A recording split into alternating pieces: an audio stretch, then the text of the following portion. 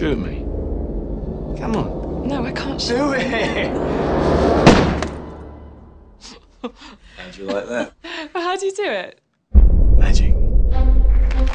I'll perform this feat in a manner never before seen by yourselves or any other audience anywhere in the world.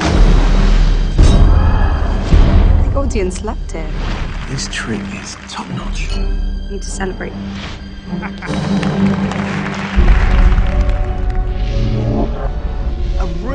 magician tries to invent something new.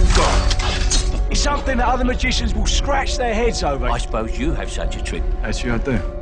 It's the one they're gonna remember me for. What happened?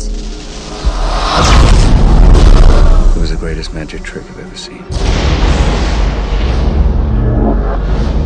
I need to know how he does it. He has no trick. It's real. Every great magic trick consists of three acts. The first act is called the pledge.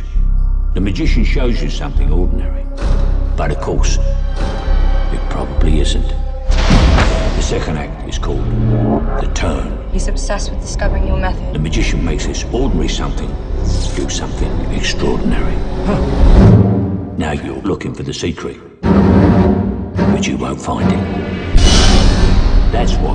Third act called the prestige. This is the part with the twists and turns, where lives hang in the balance. Julie, come on! And you see something shocking you've never seen before.